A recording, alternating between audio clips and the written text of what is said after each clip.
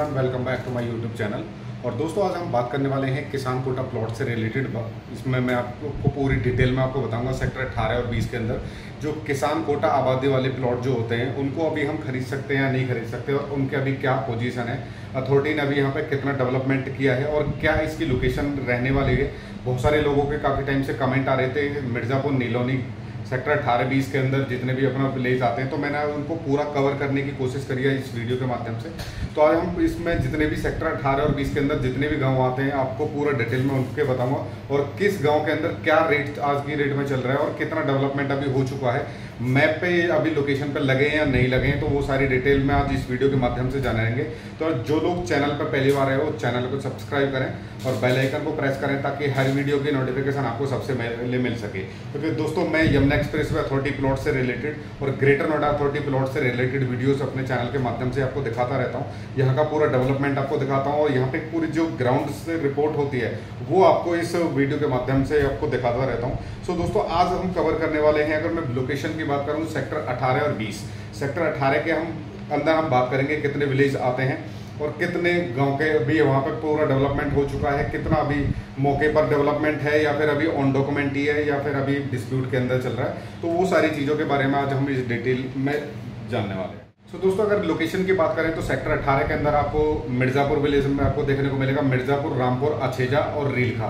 उसके बाद आ जाता है उस्मानपुर जो कि पॉकेट फाइव के पास नियर बाई में आपको देखने को मिलेगा। तो ये सेक्टर 18 के अंदर जितने भी गाँव हैं इनके हर गाँव के जो रेट है वो बिल्कुल अलग है। रेट मैं आपको बिल्कुल वीडियो के लास्ट में बताऊँगा। बाकी अब बात कर लेते हैं। काफ़ी लोगों का कहना था यहाँ पे कि मिर्ज़ापुर के प्लॉट हैं जो वो मैप पे लग चुके हैं या नहीं लग चुके हैं। तो उनको मैं इनके लिए मैं बता देता हूँ कि मैप पे बिल्कुल लग चुके हैं।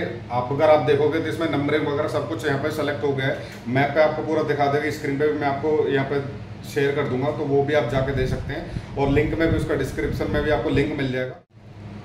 तो मैप में ये जो प्लॉट है वो अथॉरिटी ने लगा दिए हैं, लेकिन आज की डेट में अभी ऐसा कोई खास ज़्यादा यहाँ पे कोई डेवलपमेंट अभी है नहीं, मौके पे कोई डेवलपमेंट आपको नहीं मिलेगा।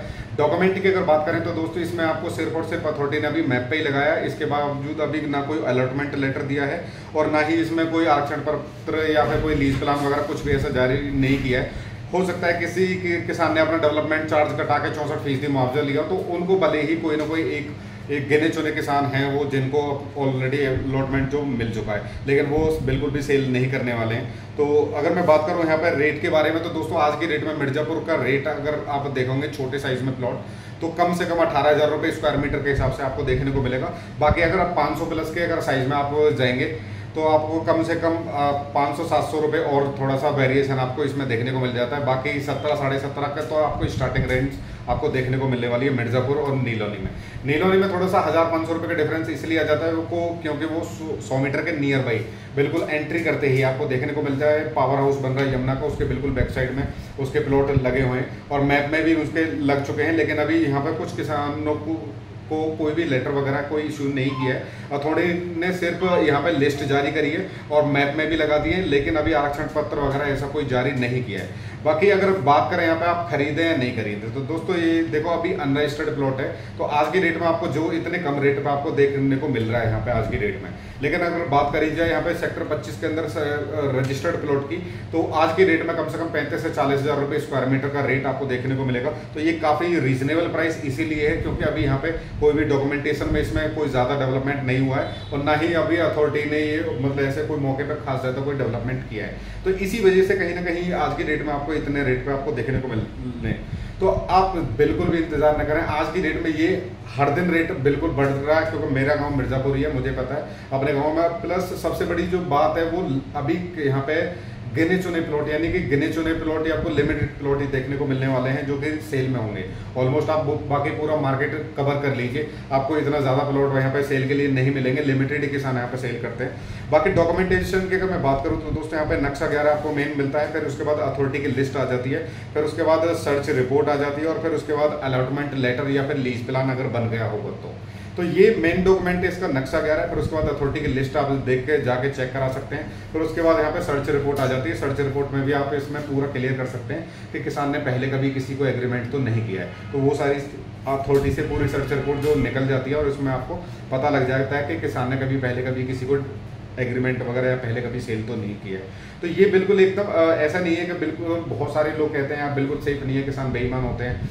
तो हर तरीके का किसान है, देखो, सौ में से एक परसेंट अगर हो सकता है कि वो कोई गलत भी निकल जाता है तो उसमें देखो, कोई ऐसी कंडीशन है, होती नहीं है कि भाई प्लॉट ही ना मिले आपको। थोड़ी बहुत अपना फेस वैल्यू के हिसाब से मान लीजिए या फिर किसी भी दबाव से प्रेशर से डॉक्यूमेंट के बल पर कहीं ना कहीं किसान से मतलब प्लॉट आराम से आपको मिल अब बात करते हैं यहाँ पे सेक्टर 20 के अंदर। सेक्टर 20 के अंदर आपको देखने को मिलेंगे सबसे मेन गाँव है जो रोस्तमपुर विलेज है रबूबरा आ जाता है, फिर आछेपुर, चांदपुर, नंगला आ जाता है एक। रोस्तमपुर के नियर बाई वो नंगला पड़ता है तो सेक्टर 20 में भी ये पाँच से सात गाँव आपको देखने को मिलेंगे।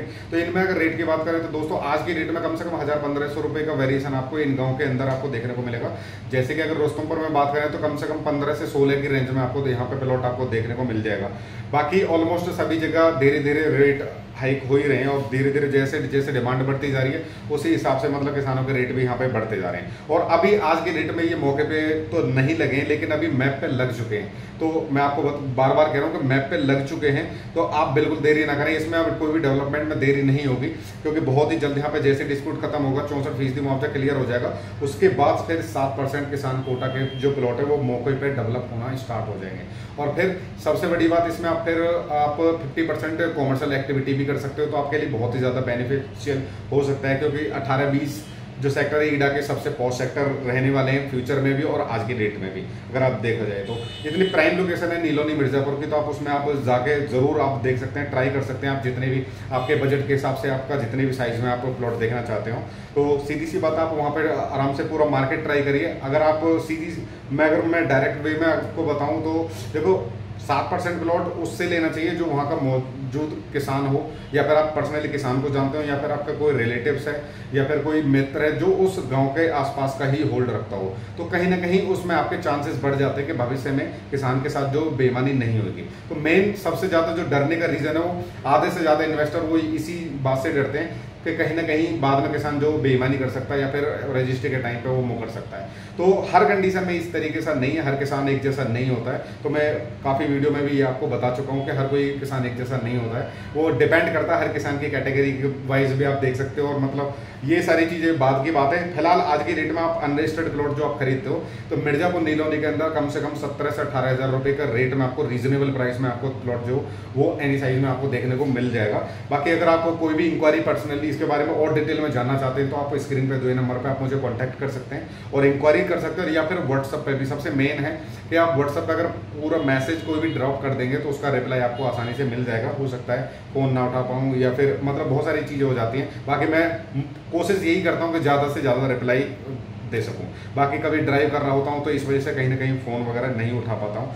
सो so, बात करें यहाँ पे रजिस्टर्ड प्लॉट की तो यहाँ पे बहुत सारे तो बहुत सारे सब्सक्राइबर की बात करूँ तो यहाँ पे ये भी कह रहे थे, रजिस्टर्ड जब हो जाएगा, हम तभी लेंगे। तो देखो, मैं उनको बता देता हूँ कि जिस दिन ये रजिस्टर्ड हो जाएँगे और मौके पे इनका डेवलपमेंट हो जाएगा तो कम से कम पैंतीस से चालीस हज़ार रुपये स्क्वायर मीटर का रेट आपको देखने को मिलेगा, जो आज के रेट में कुछ अपने पास भी इन्वेंट्री है सेक्टर 25 के अंदर अगर आप उसमें देखना चाहो तो 320 मीटर का प्लॉट मेरे पास है।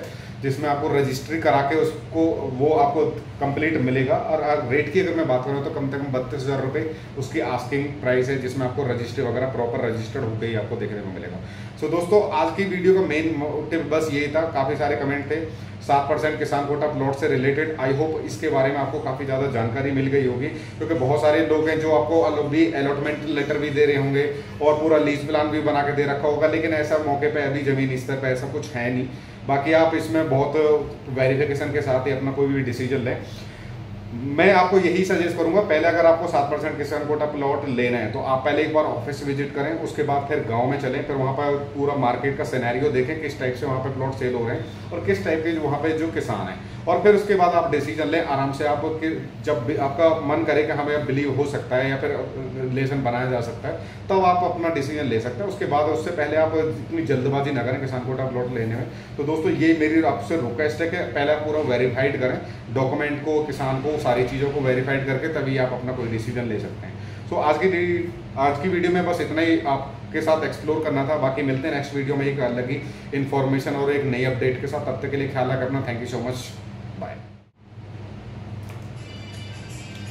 पानी पीने का भी टाइम होगा। निकल लो सब।